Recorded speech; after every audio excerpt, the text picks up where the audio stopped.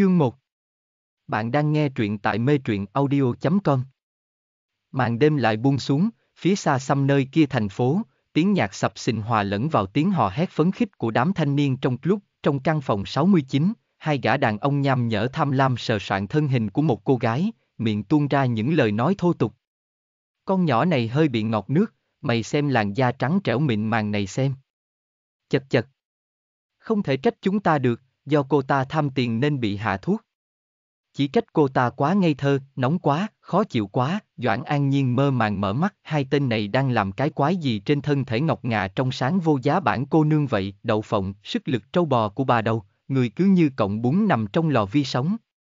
Á, bà muốn chém người, trong lúc cô đang mơ hồ thì có người ấn cánh tay cô xuống cuối người lột quần áo của cô, trên người cô chỉ mặc một chiếc áo sơ mi mỏng, nội y bên trong đã lộ ra ngoài, những đường cong dịu dàng của cơ thể đang trưởng thành dần hiện ra khiến dục vọng hai gã dân trào an nhiên triệt để tỉnh táo hẳn, mắt nhìn rõ hơn, trong đôi mắt trong suốt sáng ngời đầy tia lạnh lùng và tức giận. Gã lột quần áo vừa hay nhìn vào mắt cô bị lãnh khí trong đôi mắt ấy chấn động trong chốc lát, động tác vô thức dừng lại. Ngày hôm nay chính là ngày dỗ của hai ngươi. Khóe miệng Doãn An Nhiên nhếch lên thành nụ cười, giọng nói trong trẻo phản phất cái ma mị, lạnh lẽo của cõi âm ti khiến người nghe không khỏi rùng mình sợ hãi. Doãn An Nhiên nhẹ nhàng dùng sức đạp vào cậu em nhỏ của tên đàn ông gần cô nhất khiến gã ngã nhào xuống đất, tay ông chặt, kêu lên thảm thiết, cô quay sang liếc nhìn gã kế bên. Mặt gã tái mét, tim như ngừng đập, tại sao hắn lại cảm thấy cơ thể mình không còn chút sức lực nào thế này? Ánh mắt con nhóc đó nhìn hắn sao lại giống như kiểu ánh mắt của sư tử nhìn hưu con yếu ớt sắp phải nộp mạng thế này à? Không thể nào. Nó chỉ là một con nhóc trung học vắt mũi chưa sạch thì có thể làm gì một kẻ cường tráng như hắn được chứ? Đúng thế. Có gì phải sợ nó? Mày mày, mày đã uống thuốc rồi thì có thể làm gì được tao á há há. Tiếng cười gượng gạo của gã vang lên, vừa dứt câu, một chai rượu bay thẳng vào đầu hắn khiến hắn bất tỉnh, tên biến thái.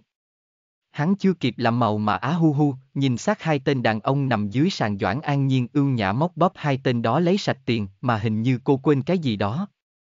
DM chúng nó hạ thuốc. Lỡ là Xuân Dược thì sao? 36 kế chạy là thượng sách, thế là mổ nữ nhà ta chạy với tốc độ bàn thờ quay về nhà, rầm, do thuốc lại phát tác dụng nên an nhiên chỉ mơ hồ chạy theo trí nhớ cộng thêm tốc độ chạy bàn thờ của cô nên đã vô tình đụng trúng người ta và sau cú ngã cô đứng dậy chạy mà không thấy một người đàn ông vô tội ngây thơ đã bị cô dẫm đạp, không thương tiếc. Thiếu gia, ngài không sao chứ? Giọng nói người đàn ông trung niên có chút sợ hãi pha lẫn sự lo lắng từ xa vang lên, những người mặc áo đen phía sau ông ta nhanh chân dịu lấy người đàn ông, ngây thơ, vào chiếc xe hơi đen sang trọng gần đó. Người đàn ông ôm lấy lòng ngực hô hấp khó khăn. Đều là tại lão già này vô dụng nên để thiếu gia bị người ta ức hiếp. Các người mau gọi bác sĩ tận đến, còn về người làm thiếu gia bị thương mau điều tra cho ta, nếu ông không mềm lòng để thiếu gia ra ngoài đi dạo thì thiếu gia đâu xảy ra chuyện này. Ông sẽ bắt người gây ra chuyện này phải trả giá đắt. Nghe trọn bộ tại mê truyện audio.com, link trực tiếp ở phần mô tả.